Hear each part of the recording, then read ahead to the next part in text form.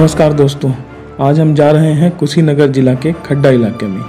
यहाँ के गाँव में एक महज तेरह से चौदह साल की लड़की के साथ कुछ दबंग लड़कों ने बलात्कार जैसी घिनौनी घटना को अंजाम दिया है। गई लकड़ी के। अच्छा लड़की? हाँ। हम्म, करवानी बा। हम्म, वही करवानी में तो दारू पी के आयल हो पकड़ लेलक। हम्म, अपन घटना कैलक करे लेलक ओकरे बाद दबाव पूरा लड़की के दे दिलक अच्छा लड़की आके घर में बताई ये सारी बात आप लोगों को? मतलब ऐसे मेरे साथ हुआ ये आके बताई। हाँ हाँ हाँ सब बतौला। हम्म, तो ना उस टाइम ना बतौला। लड़की नहीं बताई। वो दबाव में ही पड़ गई। जे तू घरे जेबे बता दीबे तो तोके मुआ के फेंक डाल दे इससे भी दुखद बात ये है कि क्योंकि लड़की मुसहर बिरादरी से आती है तो पुलिस और प्रशासन कोई भी कार्यवाही नहीं कर रही। यहाँ तक कि पुलिस उस लड़की के पिता को ही परेशान कर रही है।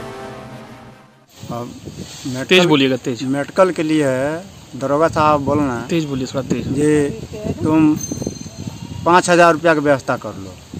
पाँच हज़ार रुपया की व्यवस्था करके और गाड़ी चार चक्का खोज के लेकर आओ और मेडिकल होगा। और दौड़त दौड़त हम बीस दिन दौड़त रह गई मैं बीस दिन दौड़त दौड़त उसके बाद तब लड़की की तबीयत खराब हो गई। जब तबीयत खराब हो गई भैया तो हम बलाके में लेके भागल नहीं तब वो बलाके में जाकर वो लड़की छुटकारा भइल। वो दिन दू सिपाही आयल ना जो चलो इसी टाइम मेकटल होगा। तो हम कहनी, कहाँ लड़की का हालत है, ठीक नहीं क्या? बलाके में लेके जाइए ए, थाने पर तो थाने से एगो मैडम आई लली। वो कहली, ठीक है चाचा, तुम लेके जाइए। और दो चार दिन के बाद लड़की को लेके आना थाने पर तो हम कहनी, अब ना लेके जाए। दौड़ा दौड़ा तभी ये हाल भइल तो बच्चा मर गई। मेडिकल की देरी की वजह हाँ। यहाँ तक कि इन लड़कों का हौसला इतना बढ़ गया है कि लड़की के परिवार वालों को ये धमका रहे हैं और एक बार तो लड़की का पक्ष रखने वाले लड़की के पड़ोसी का ही इन लड़कों ने डंडे से बहुत पिटाई कर दी। जे जाओ उसको मार दो चाहे मुआ दो। तो हमारे घर औरतियों के लड़कियों के गाली गुली दिहला सब। हम उस टाइम खड्डा रहनी आठ बज गए मजदूरी कर- करती रात मुकदमा लिखाल तो ओदमा है बाबा के अटैक कर दिहला सब मार के ढाई दिहला से घर के। हम्म, हम्म, दुआरे पहन के मार उड़ के गिरा दिहला सब। ओकरो बाद हमहू दिहनी उहो दिहला कोनो में हुआ हमला कोशिश नहीं हुआ। हमला हुआ पूरा? हाँ, पूरा ये सब बाह मेरा फ्रैक्चर हो गया। अच्छा। हाँ इस पर जरा चेक करके देखें। खड़े थे हम जो है बैग आकर लाठी कम से कम बीसों लाठी गिरा दिए सब मैं गिर गया वहीं हमारी बच्चियाँ थी वो लगी चिल्लाने। अच्छा। हाँ वो कह रहे थे कि नहीं यहाँ न रहिए आप चलिए खड्डा। हम्म, हमने कहा कहाँ घर द्वार छोड़ के जाए? इस गाँव में पहुँचने के लिए कोई भी पक्की रोड नहीं है। कई किलोमीटर तक सिर्फ़ कच्चा रास्ता है। इस रास्ते पे चलते हुए एक बार तो हमें भी डर लगने लगा कि कहीं हमारे ऊपर भी हमला ना हो जाए। लेकिन हमने फैसला किया कि जो खबर कोई मीडिया नहीं दिखाएगी वो हम दिखाएँगे ताकि प्रशासन पर दबाव बनाया जा सके। दो तीन दिन और तब हम दरखास्त दिहनी है। हम्म, हम्म, थाने में। जब दरखास्त दिहनी तो दरोगा साहब का बताते हैं जे छः सात दिन बैठौल रहना। छः सात दिन के बैठौले के बाद बाहर भगा दिहला अच्छा। कहीं दूर। ओकर बाद हमका लगल कहा सिफारिश जे दस बीस हज़ार ले लो आ समझ लो ई। हम्म, तो हम कहनी हम पैसा वैसा नहीं ले हम्म, हमके अब आगे इज़्ज़त से नहीं होई तो आगे जाए तब हम पढ़ौना गए नहीं पढ़ौना गए नहीं डी एम साहब के लगे एस पी साहब के लगे। तो छोटा एस पी भेटै ना तो उसी वक्त वो कहना फ़ोन करके जे तुम क्यों नहीं मुकदमा लिखा? तो कहना नहीं सर लिख देंगे कल लिखेंगे। कल लिखते लिखते लिखते दौड़ौते दौड़ौते दौड़ौते ये महीना में जाकर नौ तारीख के लिखाए तो फिर ये जब आगे जब दौड़ने लगा एसपी के वहाँ डीएम के वहाँ फिर और मीडिया के लोग आ गए। हम्म, हम्म, तो आने के बाद अब हुआ कि यह मामला पहुँचेगा नहीं। हम्म, हम्म, तब जा कर के मुकदमा जो है आनंद फानन में लिखा गया। हम्म, तो सुना आपने इलाके के दरोगा साहब की किसी तरह वह एफआईआर तो दर्ज कर लेते हैं। लेकिन फ्री में एक नसीहत भी दे देते हैं कि मामले को ज़्यादा मत खींचो और दस बीस हज़ार रुपए ले करके मामले को यहीं निपटा। दरोगा साहब के साथ साथ यहाँ का ग्राम प्रधान जो जनता के वोट पर ही सत्ता का लाभ भोग रहा है, वो भी इन आरोपियों का ही साथ दे रहा है। दूसरा महीना नौ तारीख का जिस दिन मुकदमा लिखा है, उसी दिन प्रधान पार्टी बना के भेजना मुंगावे करते हैं। तो बाद जब मुंगावे करते हैं भेजना तब दुआरे पर खाली मार भर भइल। मार पीट के आदमी जुट गए अब भाग गए ना सो। अच्छा धन्य हो ऐसे माँ बाप जो ऐसी मुश्किल घड़ी में अपनी बच्ची का साथ दे रहे हैं। और तमाम मुश्किलों के बाद भी अपनी ये लड़ाई को जारी रखे हुए हैं ताकि उनके बच्ची को इंसाफ मिले और भविष्य में आने वाले समय में किसी की हिम्मत ना हो कि वो किसी बेटी के साथ ऐसी दरिंदगी कर सके। हाथ में हमन के ही चाहते नहीं जा। जे कुछ ऐसा दबाव मिले हम्म, जे फिर केहू ऐसा काम मत करे। अच्छा। हमन के ये अच्छा चाची ये बताओ कि आस पड़ोस लोगन के का रवैया रहल? आस पड़ोस के लोग का कहत रहल हमके ये समझावत रहना जा जे ऐसा गलती कार मत कर। नहीं तो गरीब आदमी बानी जा अब तर करबे तो कहीं दाना नहीं मिली खाए के तो हम कहनी हमारे बेटी से बलात्कार हो गई बा तो अब हम छोड़ेंगे नहीं हम जहाँ ले जाएँगे तहाँ ले जाएँगे। तो लोग लोग आस पड़ोस के लोग ही कहतर कि छोड़ द मामला। हाँ ये मामला सलट लो। तो हम कहनी हम सलटम नहीं। हम जाए तो एजा से नहीं फरियाई आगे जाए। आगे से फरियाई। तो हम ये चाहतनी जे गाँव सुधर जा जो के बेटी बन के हाथ न के उठा पावे। अपने ईमानदारी पर, अपने सच्चाई पर सभी लोग रहे। कोई लकड़ी के जाता, कोई कहाँ जाता, कार करे, आ, कहीं पा जाता, नज़र आई घाट में तो लेकिन के पकड़ के बढ़िया ही करता नज़र। तो ये हम चाहते नहीं जो सुधार। दोस्तों, हमें ये जानकर बहुत अफसोस हुआ कि नवजात बच्ची कुछ ही दिनों में इस दुनिया को छोड़कर चली गई। शायद वो नवजात बच्ची समझ गई कि बड़े होने पे यहाँ बैठे दरिंदे उसको नोच खाएँगे। इसलिए वक्त रहते ही वो मर गई। बच्चा हो गया नहीं हुआ? हो गया बच्चा।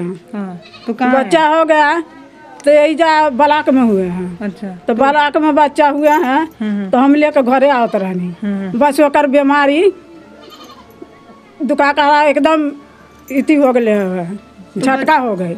अच्छा। जब झटका हो गई तो एजा से हम लेकर गए नहीं पड़ावना तो वही जा लड़का वो जा गुजर गई। बच्चा मर गया? हाँ बच्चा मर गया। बचवा एक के दिन जीवे के अच्छा। वो रह- एक दिन आए रास्ते में लेके जात रहनी जा तब बचवा वो ले जात भर में गुजर गई। वही जा नहरी बा नदी वही में दाह संस्कार कऽ के अब तीन दिन हमन के वहीं रह गई। जब तीन दिन रहने जा भइल पैसा तुम ले जब आइए। लड़किनी के बीमारी कंट्रोल भइल लड़किनी के बीमारी कंट्रोल भइल तब जाके हमनी सलहंत भइनी जा। तो वह सलहंत भइले बिहान भइले डॉक्टर साहब को तनी अच्छे जाइयो, बच्चे तो मर गए हैं। बाकी जाइए, घरे लड़की ठीक हो। हाथ में सुई है। इलाले जाइए, जब बीमारी हो जाएगा तो उनके डॉक्टर के बुला करके फिर सुई वही पर लगवा देना। तो इस पूरी घटना को देखने के बाद एक महिला होने के नाते मैं जो सोच रही हूँ, वो शायद मैं ऑन कैमरे पे कह भी नहीं सकती। क्योंकि हर इंसान की एक सीमा होती है सीमा के बाद वो बात नहीं कर सकता। लेकिन मैं पूछना तो चाहती हूँ उस समाज से कि अ, कौन सा समाज है जो समाज लड़कियों को बांधने के लिए तो आगे आ जाता है, लेकिन जब लड़कियों के साथ घटना होती है तो वो कभी सामने खड़ा नहीं होता। आखिर वो कौन सा समाज है जो महिलाओं और बेटियों को घर में रखने के लिए, कैद करने के लिए तो पहले आगे आता है? लेकिन जब लड़कियाँ शोषित होती हैं, जब लड़कियों को दबाया जाता है, लड़कियों के साथ ऐसी घटना होती है तो वो समाज क्यों आगे नहीं आता? वही समाज इन चाची का बताना था कि वही समाज इनको रोक रहा था और बोल रहा था कि आप रुक जाइए, ऐसे मामलों में आवाज़ मत उठाइए, क्योंकि हो सकता है कि आप, आपके साथ कुछ बुरा हो जाए। तो समाज सिर्फ़ महिलाओं को दबाने के लिए ही आगे आएगा कि कभी कुछ आगे कोई काम भी करेगा। प्रशासन से भी मैं पूछना चाहती हूँ, उन तमाम उन तमाम लोगों से मेरा सवाल है और ये वीडियो मैं वहाँ तक पहुँचाने की कोशिश भी करूँगी कि आखिर आप लोगों ने, जब भी चाचा गए, तब आप लोगों ने क्यों एफआईआर नहीं लिखी? क्यों आपने एफआईआर में ढिलाई क्यों की? क्या आप लोग सिर्फ़ जो मुस्लिम था उससे पैसा खाकर अपने तोन फुलाने के पीछे पड़े हुए थे कि आपको महिला की कोई चिंता भी थी। वो लड़की जो अभी बालिग भी नहीं है, उसकी आवाज़ सुनने के लिए भी इन लोगों के पास कोई टाइम नहीं था, जिसकी वजह से आज बच्ची जो है, उसका जो छोटा सा मासूम सा बच्चा था, वो अब हमारे बीच नहीं है। और अभी जो हमारी बहन है, उनकी हालत जो है वो थोड़ी नाजुक है, इसलिए मुझे नहीं लगता कि उनसे बात करना ठीक रहेगा। एक बार कोशिश करने की कोशिश करेंगे, अगर वो बात करेंगी तो ठीक है, नहीं करेंगी तो भी ठीक है, लेकिन आप लोगों से भी सवाल मैं करना चाहूँगी कि आप लोगों का काम क्या होता है? आप लोगों का काम सिर्फ़ इतना ही है कि आप महिलाओं और लड़कियों को घर में कैद करें, बेड़ियों में बांधने के लिए नियम बनाएँ या इनके लिए कभी आवाज़ भी उठाएँगे आप लोग? इस वीडियो को शेयर करें और इतना शेयर करें कि अब से अब से जो कार्रवाई है वो बचे, अब से जो अपराधी है उसको कड़ी से कड़ी सज़ा मिले और समाज में एक मैसेज जाए। समाज अब से महिलाओं के प्रति थोड़ा तो सजग हो जाए, थोड़ा तो संवेदनशील हो जाए कि आखिर लड़कियों के साथ आए दिन ऐसे अपराध क्यों हो रहे हैं? क्यों लड़कियाँ अपने घर से निकलने से पहले डर रही हैं? आपका समाज कभी बेहतर नहीं बनेगा जब लड़कियाँ घर से निकलने से पहले डरेंगी। तो आप लोगों से हाथ जोड़कर निवेदन है कि इस वीडियो को इतना शेयर करें कि उन प्रशासन पर दबाव पड़े और प्रशासन के लोग दबाव के नाते इन लोगों को न्याय दिलाएँ और अगर आप लोग ये वीडियो नहीं शेयर करते हैं तो समझ लीजिए कि आप लोग भी अभी भी महिलाओं को लेकर थोड़े भी संवेदनशील नहीं और ऐसी घटनाएँ अगर आप नहीं शेयर करेंगे तो बढ़ेंगी और कोई भी कठोर कार्रवाई नहीं होगी। एक बार हम अ, बात करने की कोशिश करेंगे देखते हैं वो बात करना चाहती हैं या नहीं। बहुत कमज़ोर हो गई है ना चाची? हाँ है। क्या नाम है आपका? पूजा। पूजा। क्या हुआ था बता पाएँगी? हाँ पूजा? बोलो है ने नहीं बताना चाहती हैं। बोला ना। पूजा नहीं बोलना चाहती हैं आप। हो हाँ। छोड़िए पूजा की सो जाइए आप कोई बात नहीं। पूजा की हालत सही नहीं है और एक अ, मुझे नहीं लगता है कि मुझे इन पर दबाव बनाना चाहिए।